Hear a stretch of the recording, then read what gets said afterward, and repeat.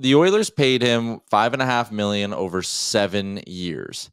So that's 5.5 times seven is 38.5 million dollars. He's probably already earned that much. Oh, definitely. And I think another layer of this too is he will obviously get worse. At some point down this Yep. contract, things will not be pretty. In 2027, when he is 30, I mean, he's only going to be 35, 36 at that time. Yeah, Who's like- to say he can't age? I know he's not as elite of a player, but who's to say he can't age like a Joe Pavelski? he works his bag yeah, off. that's what I mean. He goes to the net. His goals are sometimes, but not always, like they're rarely ever a result of like, ooh, his hands and his decision making and his quickness. It's his knack for the net.